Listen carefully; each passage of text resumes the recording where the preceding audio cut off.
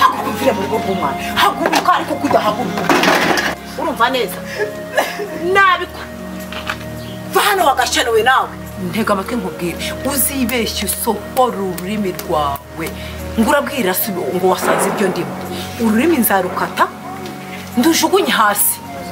Nzarukata ndukuremo niba ubeshye ukavuga ukajya kubwira papa wawe ibyo wabonye. Uri kunyumva neza cyangwa ukabwira n'undi muntu wo hanze nzarukata ndukuremo ndujugunye ahubwo reka asubireyo uko mbibwire papa cyangwa mbibwire. Aha burya isi itagutahira ubu kugira ngo nize gukenya. Eh reka amumenye hano.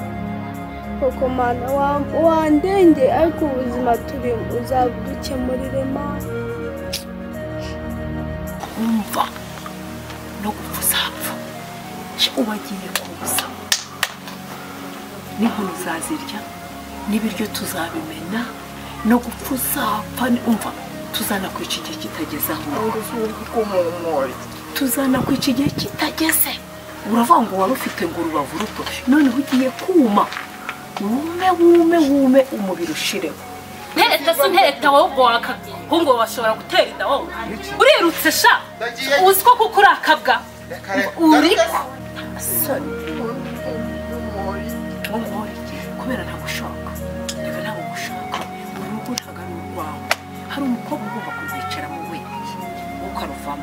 nta soni uzibeshye uvuge ugomba gufunga umunwa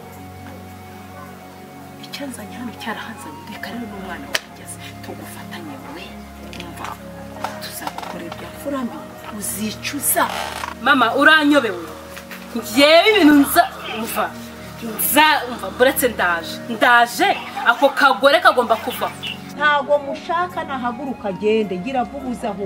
Oya nanjye nka mushiki we singashaka ako kagore. Ariko bazi tukabanza tukamukanga tukareba nyine aho bishya bikira. Se bamubwira ko meri we buragiye kuza. Ibyo ubwabyo ntabwo bishobora kumukanga. Gusa tumubwira muri wagiye kuza? Ibyo bintu numva byaduhira. Ariko ushobora ngo azaze mu ibanga atabizi. Twumva bimenye? Hako ni ikibazo cy'ubukene kirimo. Mbere nabonaga amafaranga nka si simbure rwose nashyiramo ngo umuhereze yankorere akazi. Ariko ubu ngubu noneho ndashiriwe. Ikibazo amapoto nuko umbwiye. Ndavuze ngo sohoka hano ibyo bya mama wawe nzana amapoto sawa naribi sura ukuntu nereranye muri ibi bibazo. Ukuntu yaraniseseme buriya. Sawa naribi wenda hari aho tuzahurira. Aha koko numva ubunega iminsi eshanu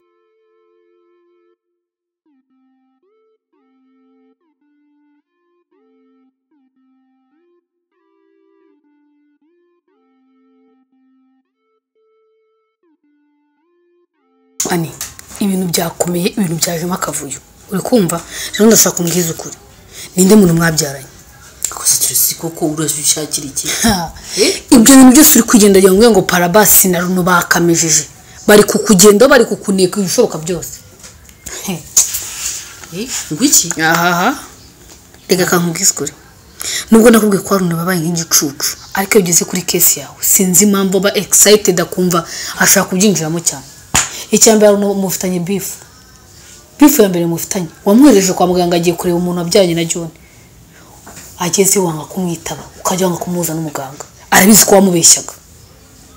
Ikindi wamuhishe ibya john ibyo byose bari abantu babiri. Iyo bifatanyije. Sinzi impa- sinzi impamvu ndimo no kugufasha. Ndabizi ko ibintu urimo ni amakosa ni amanyanga ariko still sinzi impamvu ntabasha kukureka ngo wifashe. Muri ubu buzima baba kubeshya. None se niko nyine mbayeho nese mbigenze ibyawe birenze kubeshya. Birenze kubeshya. Kuba ari abagabo babiri baranshaka iki? Icyo nawe washakaho. Ntukajya uvuga ngo parabasi urabuzi ikibazo mufitanye. Uyu munsi rero parabasi bafite n'imbaraga nyinshi zo kubijyamo kuko arabizi neza ko isaha n'isaha ushobora kumubeshyera. Ariko kenshi mubuza kungendaho ngo duhane amahoro akabyanga. Hanyuma wamusiye amafoto ukareba ko ataguha amahoro. Hari ibintu byinshi wakora ariko wapi waranze? Icyo ushaka ni uguhangana. Kandi nukomeza guhangana. Ibintu we wa mbere uzabigwamo kurenza bariya uramuseka ntabwo namwizera. Ushobora kubisiba nanone agakomeza rero wabisiba utabisiba ibyo uri kwivugisha azakugendaho paka kuva ko bamusubira amafoto byibura wagabanya wagabanya urwango agufitiye. Ariko ntituvugishwa ari wowe wakora icyo uri we reka nkubwire ni ukuri pe. Parapasi angenda angendaho cyane. Parabasi ntago akugenda parabasi yanga ikosa. Kandi yakugenze kubera amakosa yawe na, na, na, na pita nta munsi n'umwe ngiye ntegereje rero kumvikana nawe ntawe rwose ibyo Rero kumbwira ngo ibintu byawe ndabivamo neza mu mahoro. Oya mbabarira. Mbabarira umfashe. Ndagufasha ntazi ukuri aka kwawe kanya ni we ugomba kumfasha. Ndagufasha ntazi ukuri kwawe nawe ubwawe umbeshya. Ibyo byirengagize. Byirengagize umfashe kuko ni we mfite. Ni wowe uzi ibyanjye byose? Ntabwo nzi ibyawe byose. ibyo byose ntabyo nzi. Niba ntazi uyu munsi ngo ninde mwabyaranye se ni gute njya mu bintu ntazi? Ndahishira ikintu ntazi. Gusa ubwoba burantashye pe sijya kubeshya. Ngiye ndetse sinjya ngira ubwoba bungana gutya ariko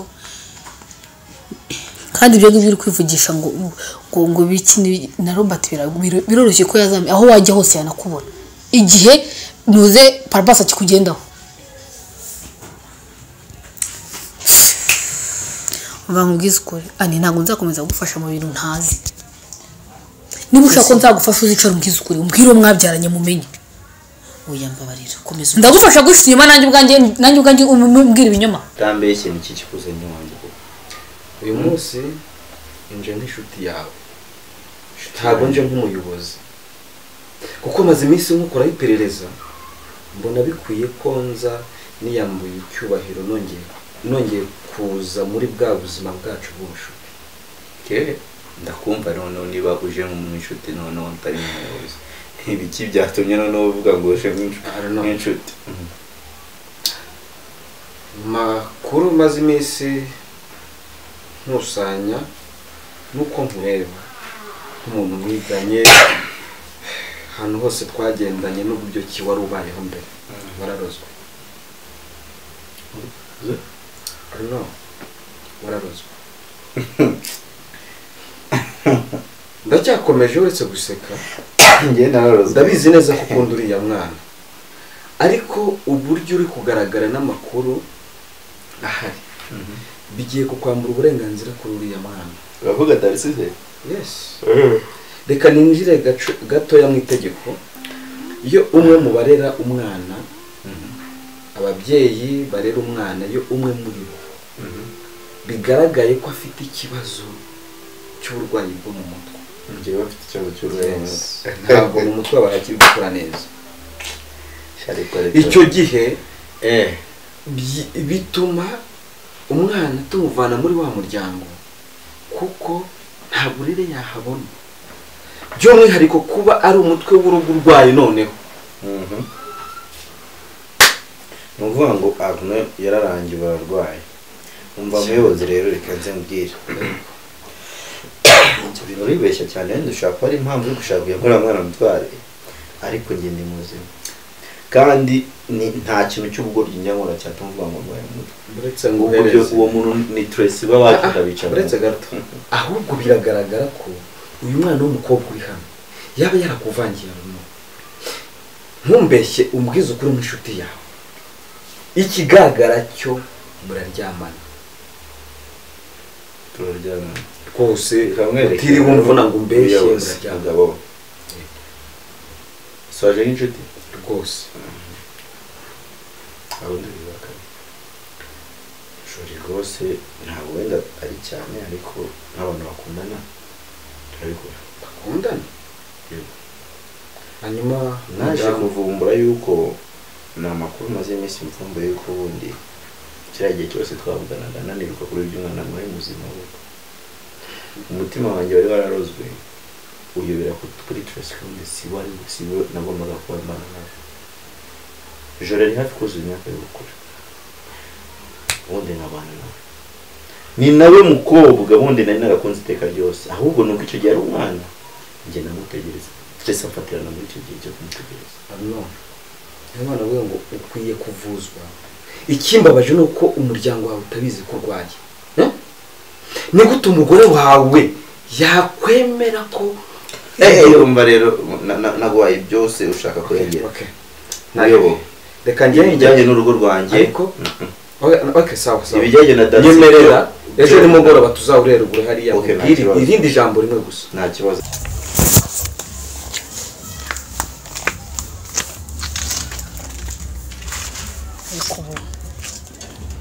Ibi bintu ndimo ni ibiki? Hmm? ibintu byo gufasha nitamura hano mafuti ye. Ubu ntabwo bizansubiza muri bya bihe bya kera nkongera nka buriya muntu. Ibyo gukomeza guhisha umugabo we ko yabyaye. Bizavamo ikibazo gikomeye.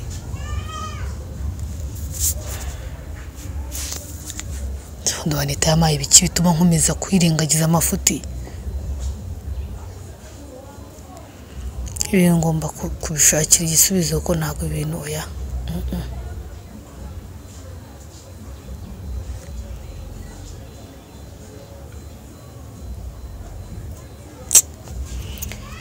Ndabona bi- bigiye kunsubiza inyuma. Kandi ndi kugenda mbisohokamo ibintu byose nabivuyemo none reba. Ndabyigaho ndabyigaho pe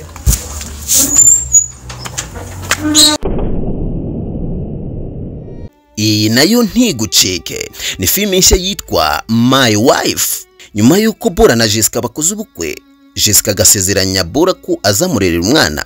Bora yaje gukora impanuka ikomeye cyane ku buryo no kwa muganga byananiranye. Baramusezerera ategereza gupfa. Mu ibanga rikomeye jessica nubwo abana na bora ntabwo yigeze amukunda. Purani zose urazizi sibyo? Ndazizi. Purani zose urazizi. N'ibi byo kubana nawe bikagera ku murenge ni ibintu tuzi twapanze mu mani magambo. Ahubwo wari umugambi yacuze n'umusore bakundanaga maze imitungo bayigabane. Urumva? Njye kuguheha nk'uheha uruhinja. eh? Ni- ukuri kw'imana birandambiye pe birandambiye niba uzi ikintu ndambirwa. N'iki kirimo? Kimaze kungera ahangaha kuguheha. Jessica arifuza ko umugabo we yapfa maze imitungo akayegukana. Ntucikwe n'iyi filime dore ko ari filime nziza yagufasha no mu buzima busanzwe. Ugakuramo amasomo. Wihe ngo ugiye kwambika impeta shere wanjye? Rwose nanjye nicaye imbere ndi gufana